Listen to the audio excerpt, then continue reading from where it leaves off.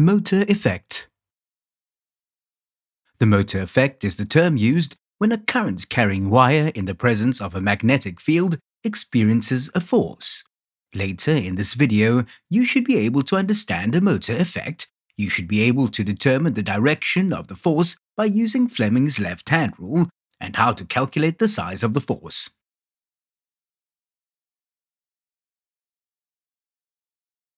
We know that magnetic field is produced when a current moves through a wire. What would happen if we place this wire in another magnetic field? Here we have wire carrying an electric current with direction of conventional current as shown. Remember that there's a magnetic field around this wire, but we're not showing. If we placed this wire into the magnetic field, the magnetic field of wire now interacts with the magnetic field between the magnets. The result is that the wire carrying an electric current experiences a force. In this case, the force is the upward direction. This force results in the upward movement of the wire, and this effect is called the motor effect. If someone asked you to calculate the size of this electromagnetic force, first you must know the equation for that force.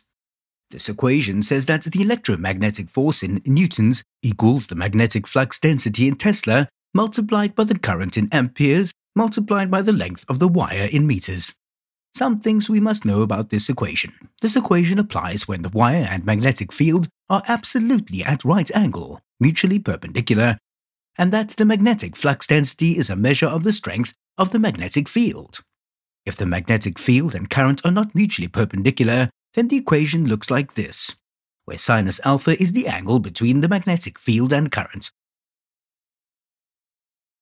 Let's solve this example. A wire has a length of 3 meters and is carrying a current of 2.5 amperes with a magnetic flux density of 0.075 Tesla. So everyone, try to calculate the electromagnetic force which is acting on the wire with the equation that we mentioned.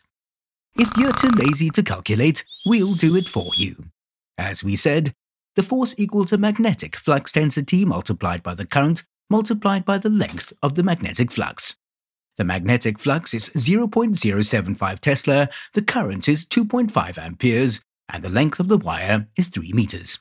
Putting this number in the equation, we got the result for the electromagnetic force, which is 0.5625 Newton. So, right now, we can conclude that three parameters affect the size of the electromagnetic force. These parameters are the magnetic flux density, a current of carrying conductor, and the length of the conductor. If we go back to our diagram, we can see that the wire carrying an electric current placed in the magnetic field experiences force. How can we determine the direction of this force? To determine the direction of this force, we can use Fleming's left-hand rule. How can we use Fleming's left-hand rule? First, place your thumb, first finger and second finger so that they were at right angles as shown. Now point your first finger in the direction of the magnetic field from north to south. Now point your second finger in the direction of the conventional current, in other words, the positive to negative terminal. Finally, the direction that your thumb is pointing shows you the direction of the motion of the wire, in other words, direction of the force. So with Fleming's left-hand rule, we can determine the direction of the electromagnetic force. Shown in this example, thumbs point up because of Fleming's left-hand rule and direction of motion of wire carrying current is upward. If you like, you can pause the video and try to use Fleming's left-hand rule. We must mention one more situation that could happen. If you have a wire carrying conductor that's parallel to the magnetic field, it will not experience any force. Let's clarify. If a conductor is moving parallel to a magnetic field, it will not cut any flux lines, i.e. flux linkage with the conductor is constant. Thus, there's no electromagnetic induction and thus no EMF produced. I hope that you now know what is the motor effect. Don't forget to subscribe, like and share this video. Watch the rest of my videos from my YouTube channel. Please consider to support me on Patreon. Thanks very much. See you on the next video.